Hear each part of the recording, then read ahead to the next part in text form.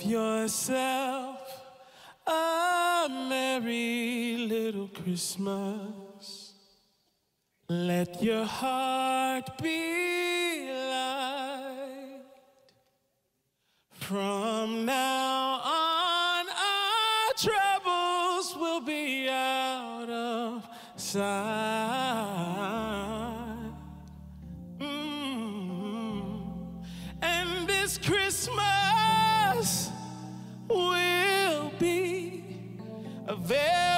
Special Christmas for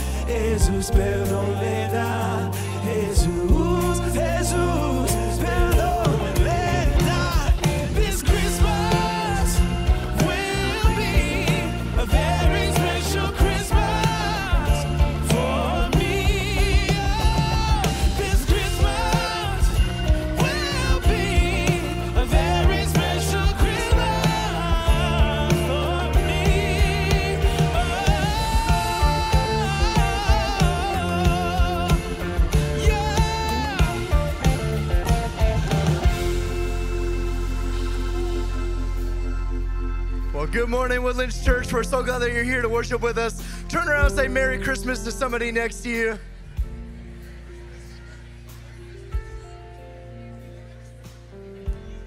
Well, welcome again. Merry Christmas. You may be seated at this time. My name is Chris Van Houten, and this is my wife Jessica, and we are so glad that you're here worshiping with us. We have an incredible Christmas Eve service planned for you, and this is such an amazing time of year just to sit back and relax and enjoy this. And so we're so glad that you came to be a part of this experience with us. To ensure the best possible experience this Christmas, we want you to go ahead and take out your phones and make sure they're on silent. For those of you tuning in online, go ahead and remove all distractions so that you can be fully present.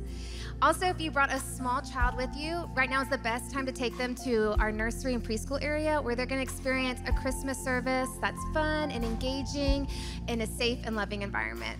Yeah, we not only want you to have a great experience here, but we also want to help you grow spiritually. And so, if you have one of these cards right here and it is your first time visiting here at Woodlands Church, we would love for you to fill this out and we have a gift for you. We have a copy of Pastor Kerry and Chris's book, The Gift of One Day, that we would love to give to give to you for free. So all you have to do is fill this out, hold on to this. Pastor Kerry will give you more instructions as to what to do later in the service. But for everyone, we want you to grow spiritually this year. And so whether you're filling out this card and getting those instructions later on, or if you would like to do this uh, digitally, you can take your phone out, go to the Woodlands Church app, or you can text Woodlands to 97000, just Woodlands It's 97000. That will give you this form in the digital form so that then you can fill that out.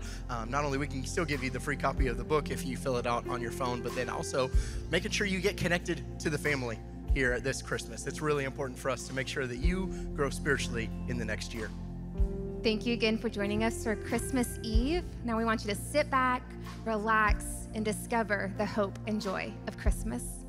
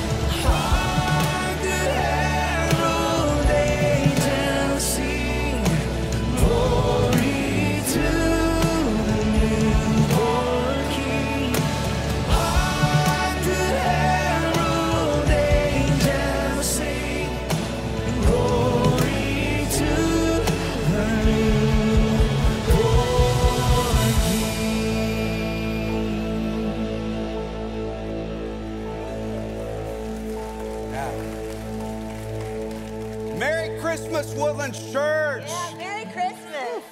I love that you guys are here. Let's be seated. And I know God's got a real word for you today on this Christmas Eve. I believe with all my heart the Christ you came at Christmas 2,000 years ago wants to speak to your heart today. I don't know if you're at our Atascocita campus or here at the Woodlands campus or worshiping with us online, It doesn't matter. God's got a word for you today to give you encouragement, to let you know that you matter to Him, that He knows where you're at. He's got your number, He knows your name. I believe that with all my heart.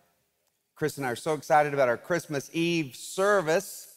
Um, we got an interesting title this year because in 1823, Clement Clarke Moore wrote a poem called A Visit from St. Nicholas, which would later be known by its first line. You know the line, don't you? Twas the night before Christmas. Now, this poem's been called the best known words ever written by an American. But today we are talking about the real night before Christmas and the day after. It's the greatest before and after story of all time. The night before Christmas, the world was overwhelmed in darkness. But by the next day, the light of the world had arrived and nothing would ever be the same again. Matthew 4:16 says this, "The people living in darkness have seen a great light. On those living in the land of the shadow of death, a light has dawned." When the light of the world broke through the darkness of the night, that first Christmas, it changed everything. It was the difference between night and day. And Christmas can make all the difference in all your days and all your nights. First, Chris and I want you to see because of Christmas, I'll never be alone in the night. Because of Christmas, you never have to be alone, even in your darkest night. The night before the first Christmas, the wise men were looking to the night sky for answers to their nagging questions. So let's look at it in Matthew chapter 2.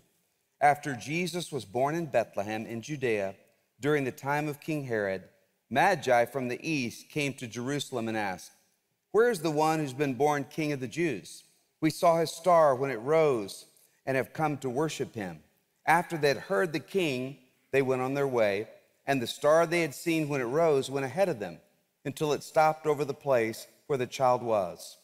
When they saw the star, they were overjoyed. On coming to the house, they saw the child with his mother Mary, and they bowed down and worshiped him. Then they opened their treasures and presented him with gifts of gold, frankincense, and myrrh. Now, magi or wise men were from the east, and it could have been Persia, but they were some of the wealthiest and most educated people of their day. Now, there are a lot of misconceptions about the wise men. First, the Bible never says there were three of them. They just gave three gifts, and so we just act like they're three wise men, but Magi usually traveled in caravans, so there could have been 20 or 30 of them. But you didn't know that, so we just have three out here at our Festival of Lights because we can get away with it because you didn't know that. And now next year, we've got to put 30 out there because now you know. But the Magi could have been 20 or 30, and they weren't at the stable on that Christmas night. They saw the star on Christmas night, but they followed the star for two years before they reached the home of Mary and Joseph. So Jesus was two years old when they arrived. We just put them all together. It just makes it easier with the shepherds and the wise men all together, but that's not how it happened. Now, when we began to put up the Festival of Lights back in October, um, there was a day where they just kind of threw out all the characters and had them out there on the, the lawn. And so I just happened to be walking by and I caught this scene. Just look. Yeah. You can see the smirk in the camel's eye as he's just bucked off that wise man. And that's why it took them two years to get to Jesus. There were a lot of interesting things out there during that time. You know, the wise men were important in society. They were respected. They were very well educated. They were wealthy. But despite all that, they must have felt the deep emptiness on the inside. On the night before Christmas, they were desperately searching to find what would fill the emptiness in their souls. How do I know that? Because they were willing to travel two years through the desert, following some mysterious star, not knowing where it would lead them. Now, think about this. Without the darkness of the night, they would have never been able to see the light of the star that led them to Jesus. And I really think if they weren't experiencing a dark night of emptiness in their lives, they would have never seen the star as a sign worth following. They would have never risked it all to follow that star through the desert for two years if they weren't in a dark night of emptiness in their own lives. And sometimes it takes the darkest night in our lives to get us to look up and see the light that leads to Jesus. In the light of day, you can't see the stars. And when life is all sunny, everything's humming along, we usually don't see how glaring our need for God is. And maybe that Christmas really, it really emphasizes the Christmas you're going through. Maybe this Christmas you're going through the most painful and difficult time of your life. And could it be that God has allowed you to be in the darkest night of your life so you can finally see the light that will lead you to Jesus? Maybe this Christmas God's just trying to get your attention that He loves you so much that He's allowed things to get really dark so you'll finally look up and see the light that will lead you to fulfillment. Hey, you're just in the night before Christmas. But if you'll look up today, you'll look up and you'll see the light that shines in your darkest night, and it will lead you to the only one who can meet your deepest needs. So it took the wise men two years to get to Jesus. But the night before the first Christmas, the shepherds were there alone in the fields. And shepherds were considered the very lowest rung of society. They were poor, forgotten, invisible. They were the insignificant ones. Oh, just shepherds, the ones that stayed out with the animals. But on that very first Christmas, God broke through their dark night of loneliness to show them He hadn't forgotten them. In fact, He valued them so much that He sent an angel to give them a personal invitation to be the very first guests of Joseph and Mary and Jesus.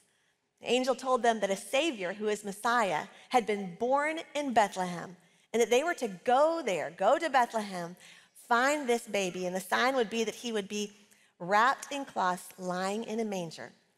So the shepherds took off running for Bethlehem. And when they got there and they found, sure enough, a baby wrapped in cloths, lying in a manger, seeing was believing. And they told everyone what the angel had said about this child. And as Isaiah prophesied hundreds of years earlier, an angel told Joseph what to name the baby. In Matthew, it tells us the virgin will conceive and give birth to a son, and they will call him Emmanuel, which means God with us. God Himself, wrapped in human flesh, wrapped in a blanket, there lying in a manger, here on earth with us. Now, later, on the night before He went to the cross, Jesus promised that He would send His Spirit who would come to li- live in us. He said, I will still be with you.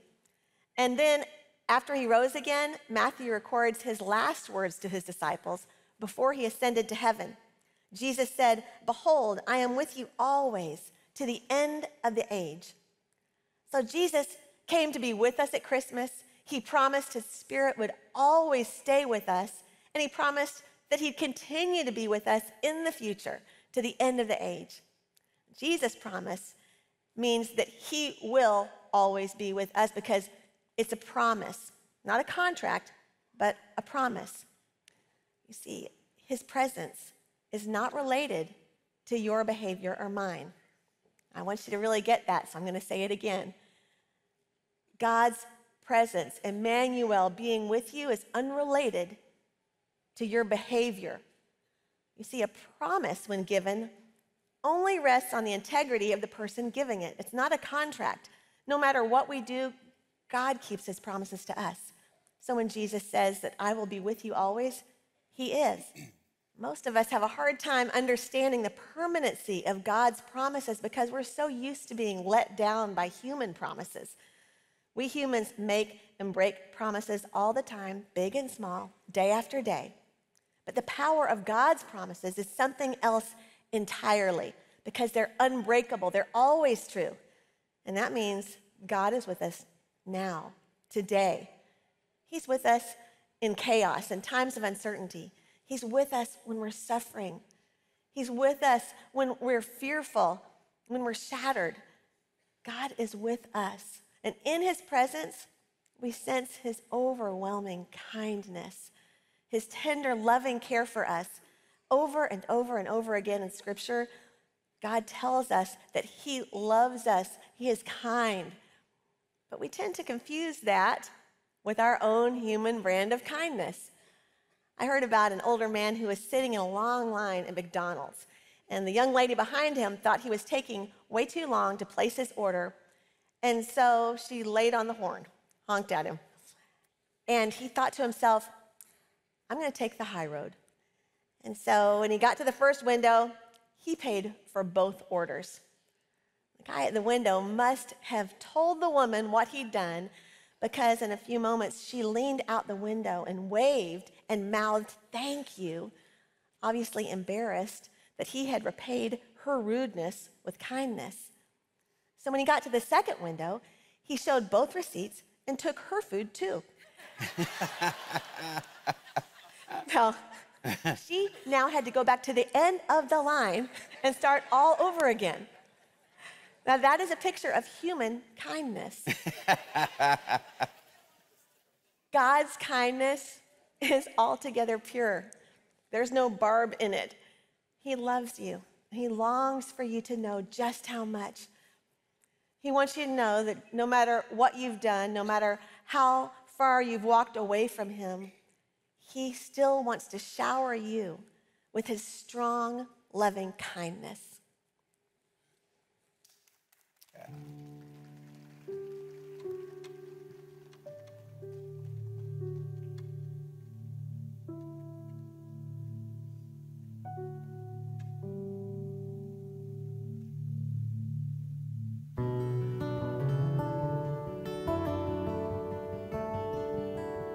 Sometimes marriages don't work. Sometimes babies die.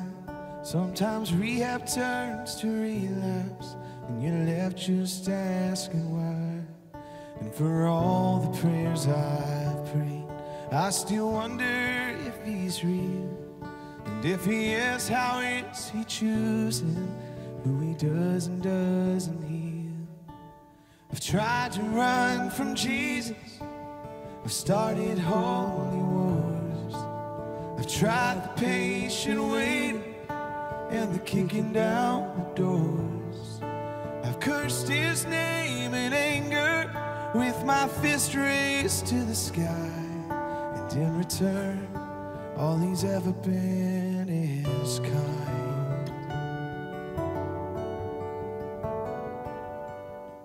I've burned my share of bridges. I've learned to tuck my tail and run. I watch the wreckage in the rear view from all the crooked things I've done. And I know that He forgives me, but it's hard to forgive myself. I can't help but think amazing grace is for everybody else. I've tried to run from Jesus. I started holy wars. I've tried the patient waiting and the kicking down the doors. I've cursed his name in anger with my fist raised to the sky. And in return, all he's ever been is kind. All he's ever been is kind.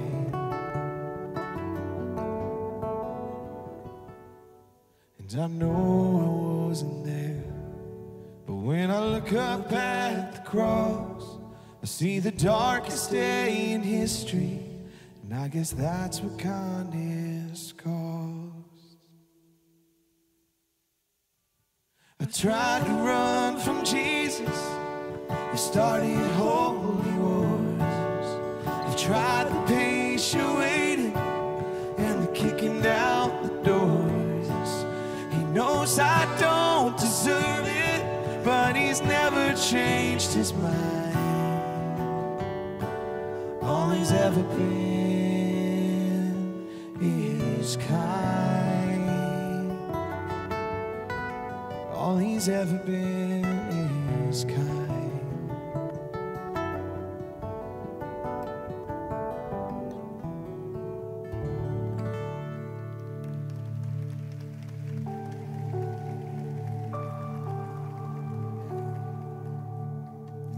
Maybe you're going through a time where it feels like God's not around.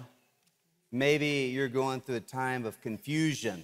It's a dark night of confusion that you just can't see what God is up to. And there's some things that you'll go through in this life that are so painful that you won't be able to understand. We'll never get it until we get to heaven. But one thing we know because of Christmas, you'll never have to go through any night alone. He'll walk through it with you. And because of Christmas, I don't have to hide my struggles. I love that. I want you to look at the first part of the first verse that we read Matthew 4 16. The people living in darkness have seen a great light. The night before the first Christmas, the people were living in darkness. And really, we're all living in darkness until we let the light of Christmas into our lives. We've all stepped into the darkness of sin, the darkness of regret, the darkness of failure. We've all made a mess of things. And the Bible says that we've all sinned. Everyone has sinned. We're all in the same boat. And sin is just trying to be God and be in control of everything in our lives.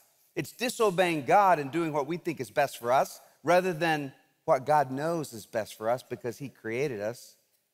And sin causes shame and guilt, and that causes us to hide our struggles from God and from others. But because of Christmas, we can walk into the light and receive His undeserved forgiveness. We don't have to hide anymore. That's why I love Woodlands Church. You don't have to hide your struggles and your sins and your brokenness. You just bring it to the one who can restore. You know, we try to act like we're not broken like everyone else, we got it all together, but on the inside, we know we don't. We're all broken and need to be restored. Then eventually, all that is in the dark gets revealed because you can't hide anything from God. He knows everything about me the good, bad, and the ugly, and yet He loves me more than anyone else. And He just says, Step into the light of honesty, and I'll forgive you and cleanse you. And the light will dissolve all your sins. Look at this passage in Colossians chapter 2. You were dead because of your sins and because your sinful nature was not yet cut away. Then God made you alive with Christ, for he forgave all our sins. He canceled the record of the charges against us, and he took it away by nailing it to the cross.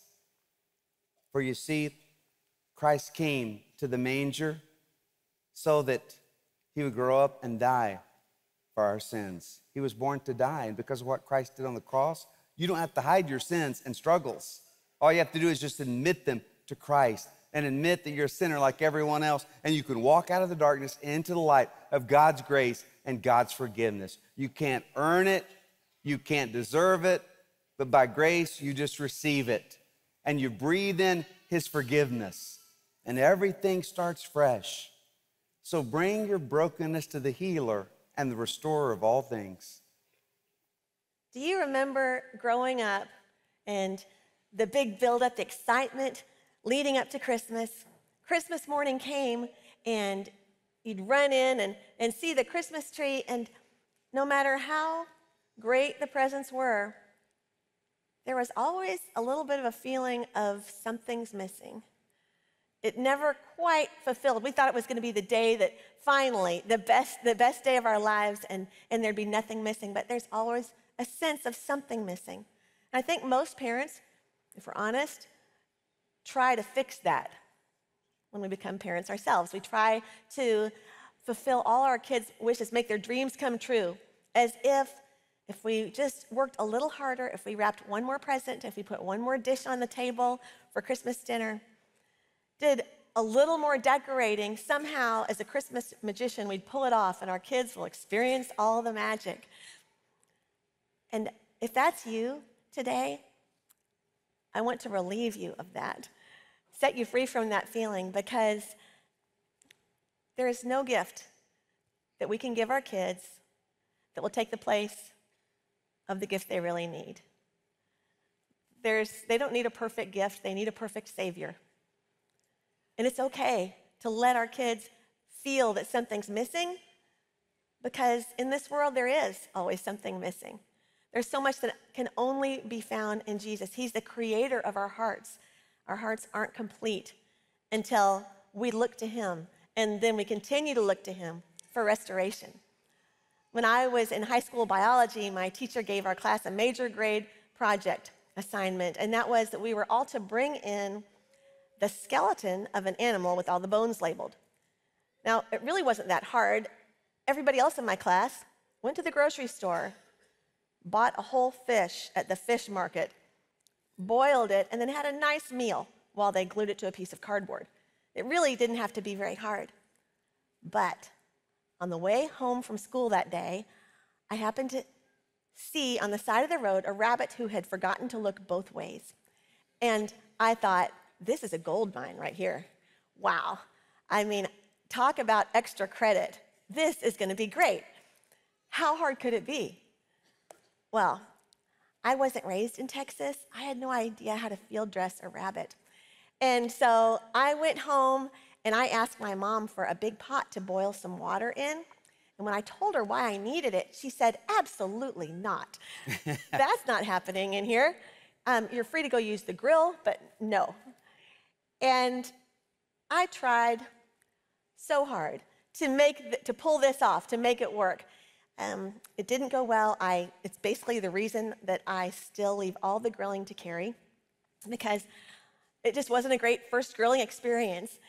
And every time the smoke cleared, I hope to see somehow just a skeleton. Um, it would be all ready for me to mount. And the night before my project was due, I sat dejected in front of a pile of tiny little individual bones, and I had a bunch of super glue. And it hit me that it would have been a great idea to have some kind of a diagram of what this was supposed to look like. This was pre internet, guys. Life was different. And I just tried to start remembering now, what does, how do their legs go? How does this work? And the longer I stayed at it, the less it looked like a rabbit or any kind of animal for that matter. And when I came downstairs for breakfast the next morning, my family was laughing so hard that some of them were crying. And unfortunately, my teacher had the exact same reaction.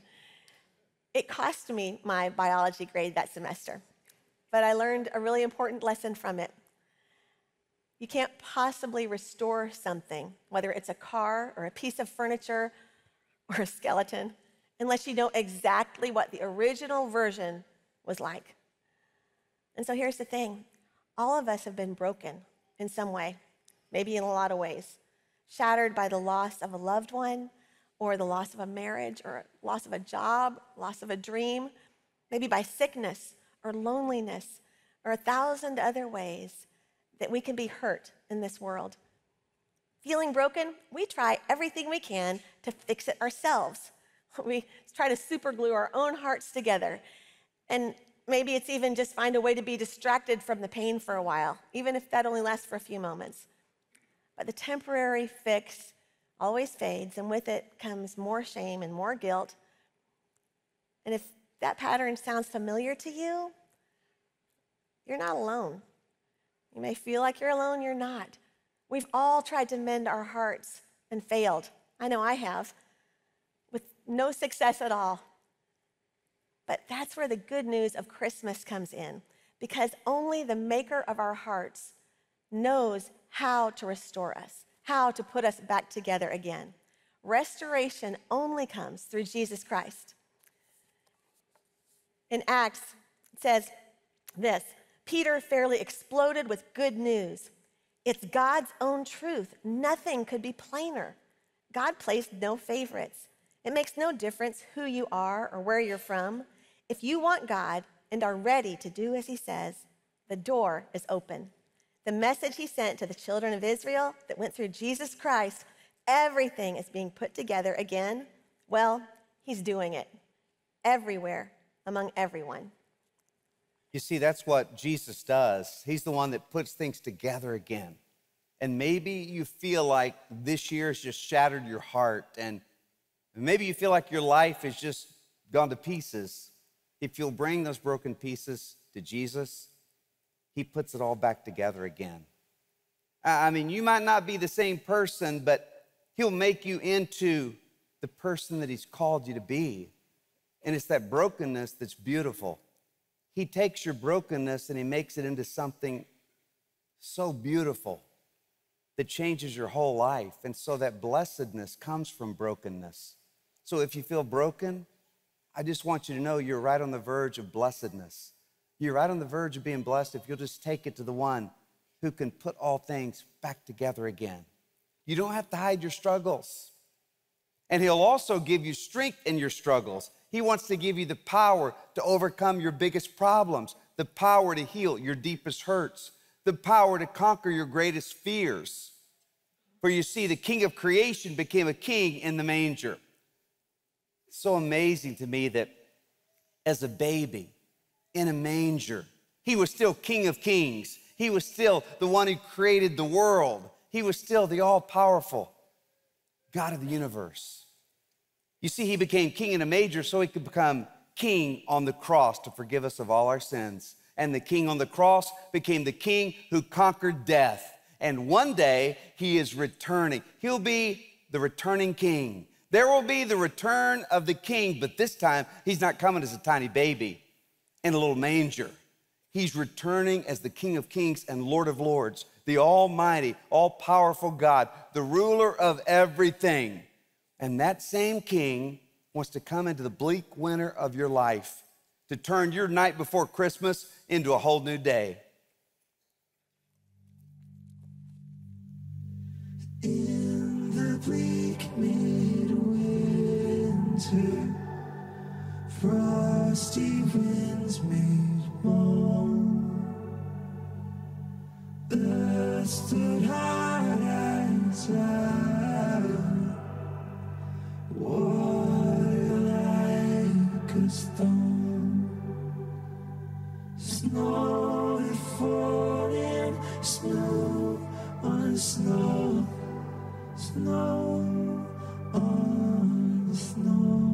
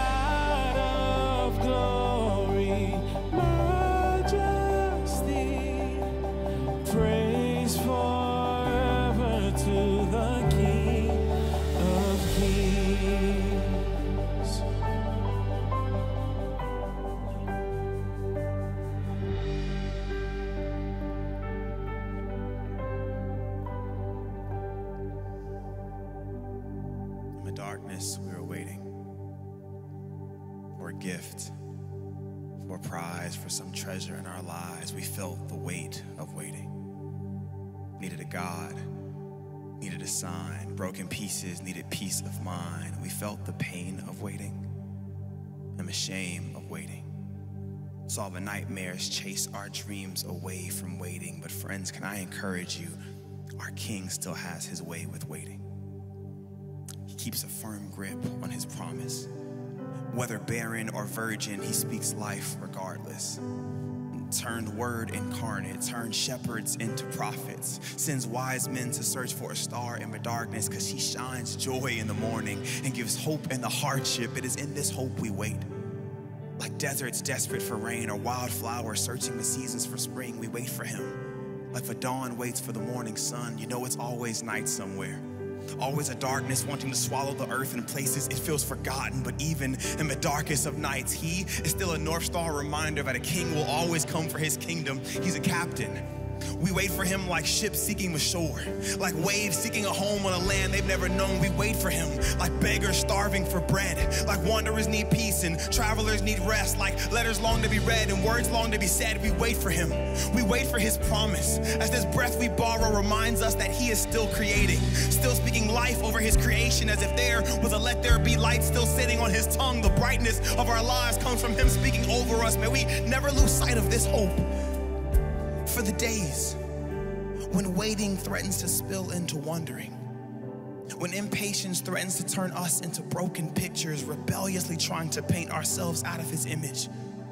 May we see His love and the artist of his grace. How he turns manger into masterpiece. How he turns silence into a canvas, a place to reveal his true colors and make something beautiful out of our lives. May we wait for him like blank sheets, dreaming of what he might draw out of us as he fashions our fragments into mosaics of mercy and a masterpiece that surpasses all understanding. May faith teach our hearts the art of waiting as we learn how to call these stories beautiful for the days when we don't feel worth a second glance. May our hope remain in the one who can't take his eyes off of us. What source can we find more hope than this? this, gift, this pride, the glory of our lives. For Christ alone can hold the weight of our souls. So our souls will wait on Christ and Christ alone. Praise be to God, the rock of our salvation, our refuge, our boast, our only hope worth waiting for. Friends, He is worth waiting for. Oh, I wish we had a few worshipers in my house that could say, God is worth the wait. God, you are worth the wait. So, friend, don't stop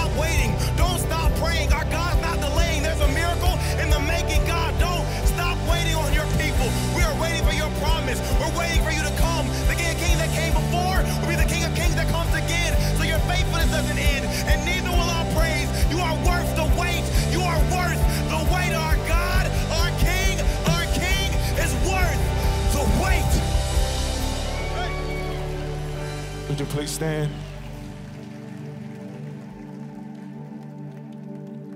In the morning that you rose, all of heaven held its breath till that stone was moved for good, for the Lamb had conquered death. And the dead rose from their tombs, and the angels stood in awe for the souls of all who'd come to the Father all restored. And the church of Christ was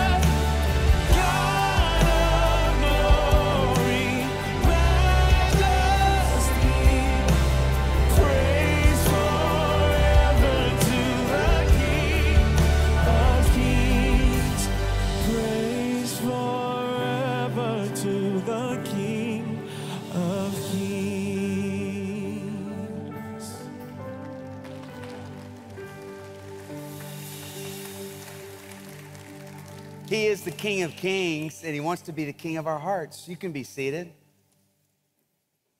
Chris and I also want you to know because of Christmas, we can have heaven in our future. Let's look again at the first passage that we read in Matthew 4:16. It says, "The people living in darkness have seen a great light. On those living in the land of the shadow of death, a light has dawned." It says, those living in the shadow of death. And really, we're all living in the shadow of death. death casts a huge shadow over all our lives. We don't like to talk about it. You know, we want to run from it. Um, uh, we want to just get away from that thought, but the shadow is always there. But this verse says, On those living in the shadow of death, a light has dawned. And that light is Jesus Christ because he defeated death. And if you've received the gift of Christmas, one day you will step into the light of heaven, that perfect place, that place where it's only day because of Christ. And all the darkness of pain and sorrow and injustice and death will be gone forever. All things wrong will be made right. All the wrong in our dark and broken world will be set right again by the restorer of all things. As a kid, I thought I had the rotten luck to have the absolute worst birthday in the whole world. December 26th, the day after Christmas.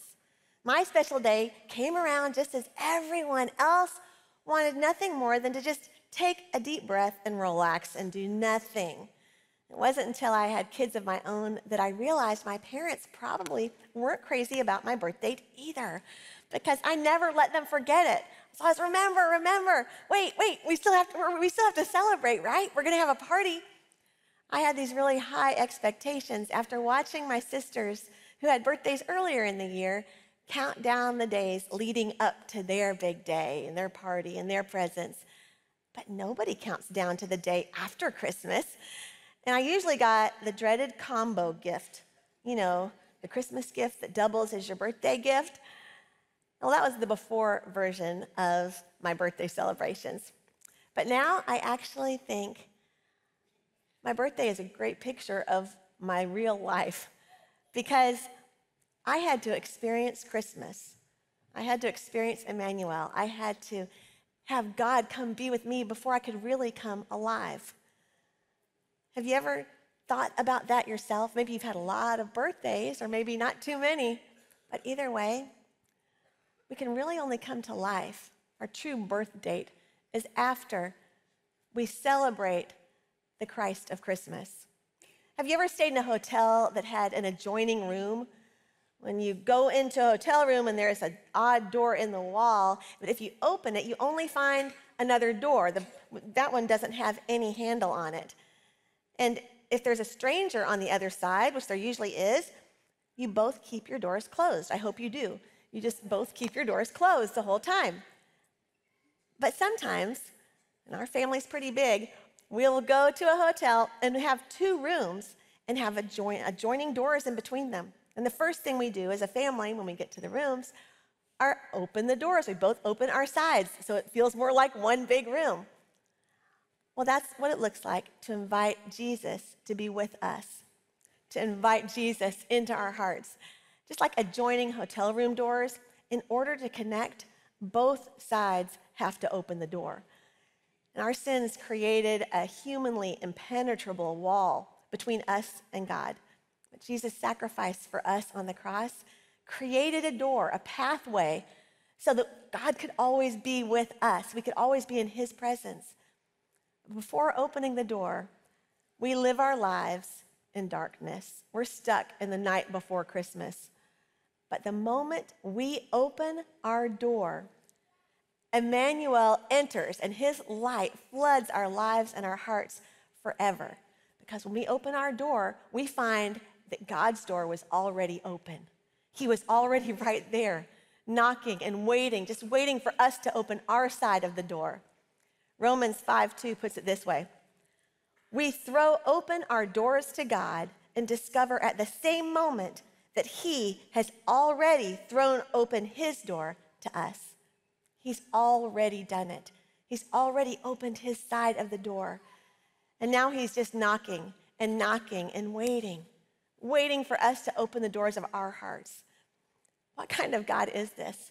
This God of ours who wants us he doesn't wait for us to clean up our act. He wants us just as we are because He has the power to change us.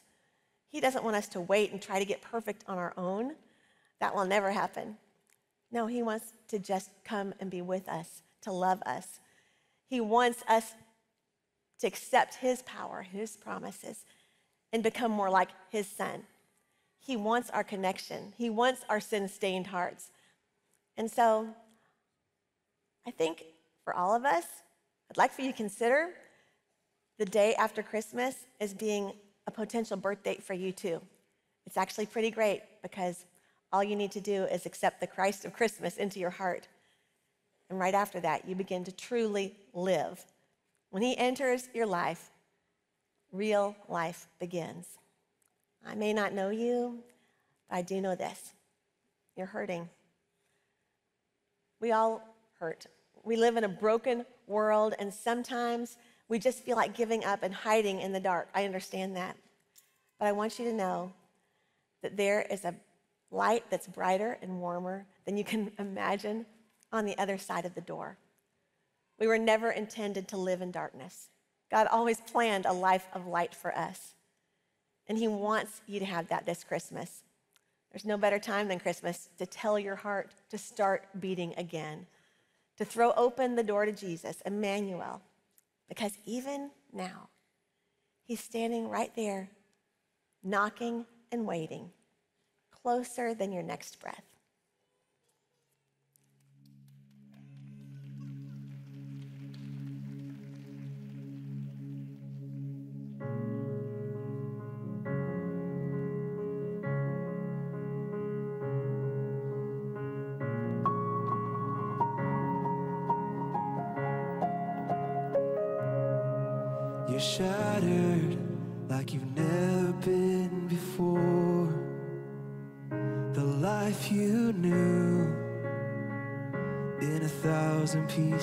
On the floor. And words fall short in times like these. This world drives you to your knees. You think you're never gonna get back to the you that used to be. But tell your heart to beat again. Close your eyes and breathe it in. Let the shadows fall. Step into the light of grace. Yesterday is a closing door. You don't live there anymore. Just say goodbye to where you've been and tell your heart to beat again.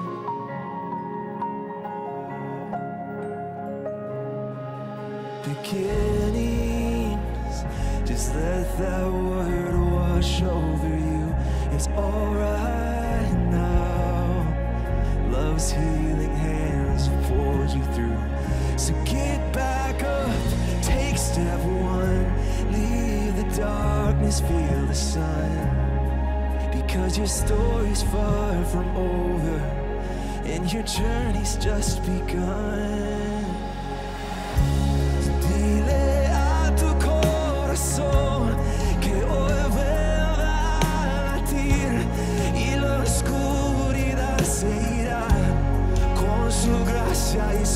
Verdad. El ayer quedó atrás, ya no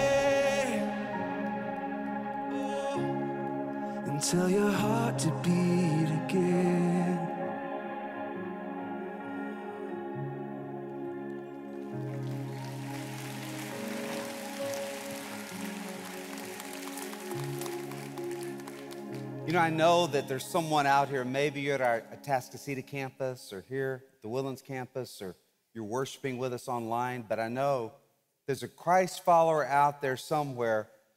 You've gone through the toughest year of your life, and the only thing good you can say about it is, I'm glad it's over. Hope 2024 is better. But I just want you to know God tells you today, take the next step. It's time to let the healing begin. It's time to let your heart start beating again because God has something good for you. It's not over yet. God's not finished with you yet. He still has a purpose, He still has a plan. And there's no problem, no pain that can come into your life that can change God's purpose for your life. But I want to ask every one of us are you still living in the night before Christmas? Or have you experienced the light of Christmas? Have you experienced your first Christmas? Our son Stephen, who just sang, and our daughter in law Caroline just had their first child, Julian Spencer Shook. And this will be Julian's first Christmas. And we're all celebrating, and now it's like 10 grandkids. And I mean, the greatest lights that we see on Christmas Eve are our kids, the tail lights driving out of our house. And where now we can relax, you know, but, but we love it. But he's celebrating his first Christmas. You can be 25 or 65 and never have experienced your first Christmas. I'm not talking about how many times you've experienced December 25th in your life. I'm asking, have you ever received the light of Christmas, Jesus, into your life? If not, you're still living the night before Christmas. And so on this holy day, moving into this holy night, I want every one of us to do something that's life changing, that's so powerful. I want you to take out this little card. Just take it out right now. You see that there's a little box, a little square right here. And if you would say, Kerry, I don't know that I've ever opened my side of the door. You see, as Chris said, he already has the door wide open. And he wants you to come and receive him. He wants to come into your life, but you've got to open the door. There has to be a point in time in your life where you decide, I want Jesus into my life. He won't knock the door down. The Bible says, and Jesus says, I stand at the door and knock. If anyone hears my knock and opens the door, I will come in and make myself at home in their life. And so he's knocking on the door of your heart right now. He's knocking on the door of your heart. For, for some of you, that knock was a a friend or a neighbor inviting you to this service and you're here. For some of you, it's this message that God used His word to speak to your heart. It's, it's Jesus knocking on the door of your heart. And He's knocking on the door of your heart because He loves you. But you've got to choose to open your side of the door. There has to be a point in time in your life where you choose to open up your heart to Jesus Christ and invite Him into your life Admit that you're a sinner like everyone else and need his forgiveness. Admit that you can't get to heaven without him because heaven's a perfect place for perfect people. And he knew we could never get to heaven because none of us are perfect. That's why he came down to this earth. And that's why he was born as a tiny baby to experience all that we go through pain, hurt, rejection, temptation, but he never once gave in. He was the perfect sacrifice for all our sins. And what he did on that cross forgave me of all my sins and can forgive you of all your sins if you've never experienced your first Christmas. And maybe you'd say, Kerry, I think I have received Christ, but I'm not sure. Well, just receive Him today. You get that free ticket to heaven one day. He comes into your life. You surrender your life to Him and let Him lead you from now on. If you'd say, Kerry, I want to get it settled, I want to accept Christ on this Christmas Eve, just put A in that box. A, I want to accept Christ. And at the end of the service, you can take this back to the foyer and at the tables back there, and they want to give you, we want to give you a, a new Bible. It's a, a new believer's Bible. It's really awesome. And we want to give that as a gift to help you grow in your faith. And then if you'd say, Kerry, I know Christ is in my life, but I'm not close to him right now. I've wandered away from him. I've tried to be my own God again. I haven't been in church. I haven't been really connected to him. And with others that are Christ followers. And I really want to renew my faith this Christmas. Christmas is time to renew your faith, release your fears, and step forward into a new day. And so be here in January for our big kickoff of the new year. It's so exciting at Woodland Church. And but just put R, I want to renew my faith. Something happens when you write it down. It's your decision. And then if you would say, Kerry, I'll consider Christ, but I'm not even sure that God exists. I've got a lot of questions. And we always say that questions are welcome because when you ask your questions and you express your doubts, that's how you arrive at a strong faith. Not a blind faith, but a strong faith. And so if you would say, I'll consider Christ, just put C. Take it out here to the tables, and we want to give you a free copy of Lee Strobel's book, The Case for Christ. It'll help you in your with your questions, in your honest intellectual search for the truth. You'll be like the Magi searching for the truth, and God will lead you. And by the way, Lee Strobel is one of our own here at Woodland Church. He'll be preaching for me next week in our New Year services, so don't miss that. But I want us to bow our heads right now on this holiest day of the year as we move into Christmas Eve. And if you put A, I want to accept Christ. I want to open the door of my life to Christ. I'm tired of trying to play God.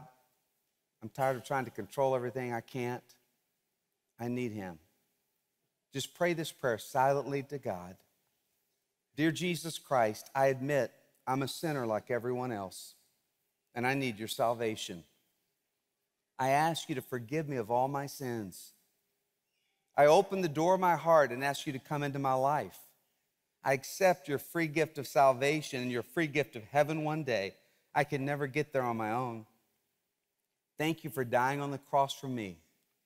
Thank you that you rose again and you're alive to make all the difference in my life. The best I know how, I want you to be the Lord of my life. I want you to lead me from now on. I want to follow you. Now help me grow in my faith. In Jesus' name, amen. If you prayed to receive Christ, put that A there. Please go to the foyer at the end of the service and get that Bible. Get started. Be back here in January growing in your faith. Now we're at the time of our service where we give back to God some of what He's given us. And if you're a first time guest, don't feel obligated to give. Unless you want to, then that's great because He is the birthday boy. But this is the last chance for many of our regular attenders to give before the end of the year, and there are many ways to give. You can go to wc.org slash give, and you can set up recurrent giving for the new year. Or you can give by your phone. Uh, just text the word give WC, one word, to 77977, and you can give through your phone to our secure giving site, or you can give stocks before the end of the year. There's many ways to give, but just give. You can give in the offering right now as our ushers are coming by. And then after we take our offering, we're going to move into the most powerful time of the night, our carols by candlelight. And I got a few announcements though. First, be here for our kickoff in January, January 6th and 7th, our regular service times, Saturday 6 p.m., Sunday 9:30 and 11:30. And then next weekend is our New Year's services with Pastor Lee Strobel, the same times. Um, we are starting a new downtown campus. It opens Easter, which is like one of the last weekends in March this year. It's early. And if you know someone who lives in the area, or maybe you do, um, whether it's in the west side, the east side, the heights, uh, wherever, it's going to be amazing to kick off our new downtown campus. And God's called us to reach the city in a big way. And so, if you want information about it, you can just write that down and We'll send you more information about it so you can invite friends as we get ready to kick off our big downtown campus. God is really working. Hey, by the way, in all of our ministries and missions, God's used you to change so many lives this year. And over 2,500 children and senior adults who wouldn't have had Christmas received Christmas through our Angel Tree ministry this year. You did an amazing job. So proud of you. Just watch.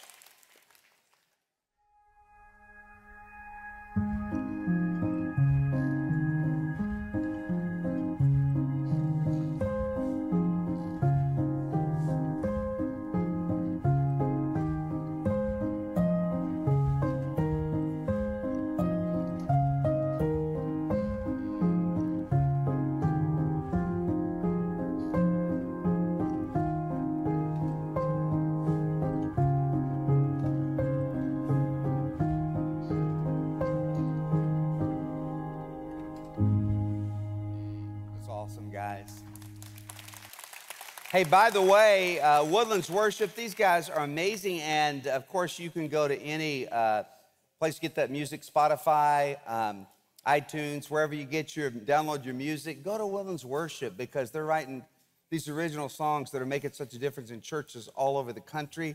And it's coming right out of your singing. You guys are the choir, and it's pretty awesome. Now we want to light our candles and sing to the Lord because He is the one that we worship. It's His birthday.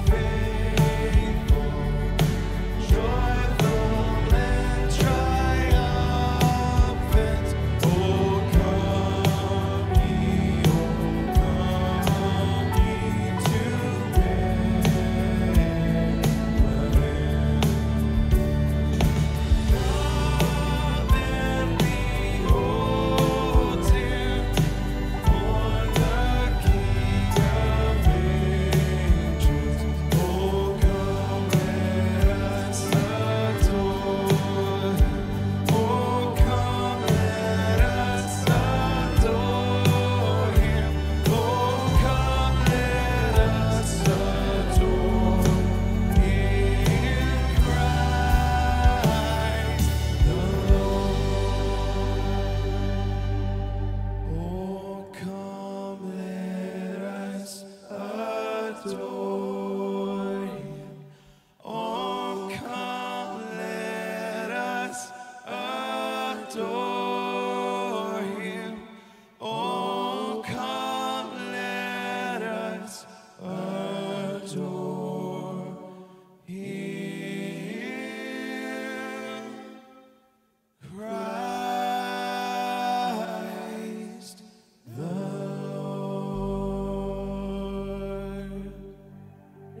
candles burning for a few more moments and let's pray together.